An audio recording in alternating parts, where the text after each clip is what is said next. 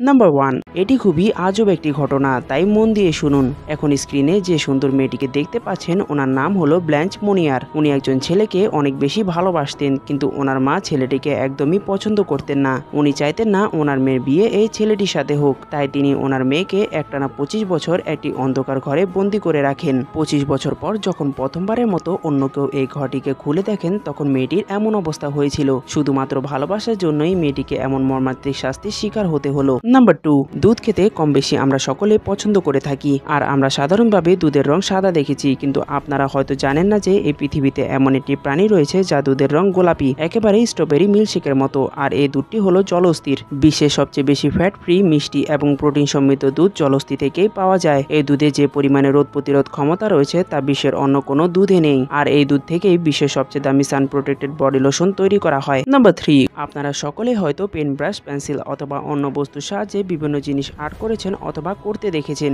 কিন্তু আজ আমি আপনাদের ভারতের এমন একজন আর্টিস্টের সাথে পরিচয় করিয়ে দেব যিনি শুধুমাত্র টাইপরাইটার দিয়েই আর্ট করে থাকেন। আর এই আর্টিস্টের নাম হলো এসি গুরুমূর্তি। তিনি বেঙ্গালুরুতে বসবাস করেন। তিনি এই সুন্দর সুন্দর এবং অসাধারণ চিত্রগুলো শুধুমাত্র টাইপরাইটারের বিভিন্ন স্যাম্পল এবং লেটার ব্যবহার করেই বানিয়ে থাকেন। এই ইউনিক আর্টের কারণে ওনাকে বিশ্বের সবচেয়ে ইউনিক সিলেক্টেড আর্টিস্টদের একজন হিসেবে গণ্য করা হয়। ওনার এই অসাধারণ প্রতিভার জন্য ভিডিওটাকে একটা লাইক তো দিতেই হয়। নাম্বার ফোর জীবনে কম বেশি চকলেট হয়তো সকলেই খেয়েছেন বাট এখন স্ক্রিনে যে চকলেটগুলোকে দেখতে পাচ্ছেন, এগুলো হলো খুবই অসাধারণ চকলেট। এই চকলেটের বাক্সে রয়েছে পুরো একটি সোলার মডেল, যেখানে নয়টি গ্রহকে হাতে আঁকানো হয়েছে। এই চকলেটগুলোকে শুধুমাত্র জাপানেই পাওয়া যায়, আর ইন্টারন্যাশনাল মার্কেটে এই চকলেটের মূল্য হলো আটাত্তর ডলার আপনারা যখন এই চকলেটগুলোকে খাওয়া শুরু করবেন, তখন আপনাদের মনে হবে আপনারা পুরো সৌরজগৎকেই খেয়ে ফেলছেন, যেটা আপনাকে অন্যরকম একটা অনুভূতি দেবে। বাকি আপনারা কারা কারা চকলেট পছন্দ করেন, তা অবশ্যই কমেন্টে জানাবেন।